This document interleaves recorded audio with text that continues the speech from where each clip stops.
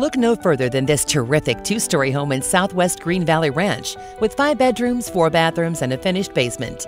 This floor plan is flexible enough to meet most needs. The home is ready and waiting for you to make it your own. Don't wait to contact Illona Gerlock to schedule your private showing.